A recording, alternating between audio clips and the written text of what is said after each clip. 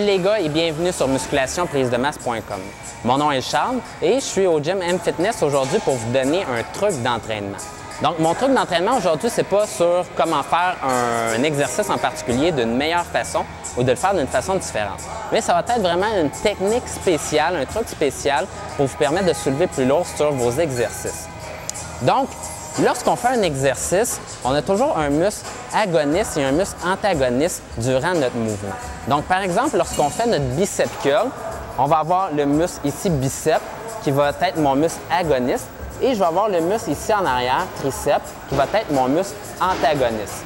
À quoi ça sert de savoir ça? C'est tout simplement que euh, le muscle antagoniste ici va travailler, bien qu'on pensait qu'il ne travaillait pas, va travailler pour réussir à contrôler le mouvement et faire en sorte que ma main ne se soulève pas trop rapidement comme ceci. Donc, pour avoir un bon contrôle moteur, je vais avoir une activation principale du biceps, mais une petite activation du triceps pour faire en sorte d'avoir un bon contrôle de mouvement. Ceci est intéressant lorsqu'on fait une tâche précise euh, de minutie. Par contre, lorsqu'on est en train de faire euh, de l'entraînement, ce qu'on veut, c'est avoir le plus de force possible dans notre biceps et le moins de contraction possible de notre muscle antagoniste, qui est dans ce cas-ci le triceps. À ce moment-là, ce qu'on va faire pour réussir à faire en sorte de l'enlever le plus possible de l'équation, ça va être de l'étirer. Vous faites un étirement de votre muscle antagoniste et à ce moment-là, vous allez avoir plus de force sur votre muscle agoniste. Ce truc-là est principalement intéressant pour les débutants qui ont beaucoup de difficultés avec leur coordination durant un mouvement.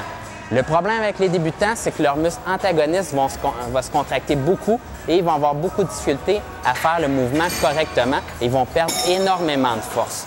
Donc, avec les débutants, très intéressant d'étirer le muscle antagoniste avant de travailler n'importe quel mouvement.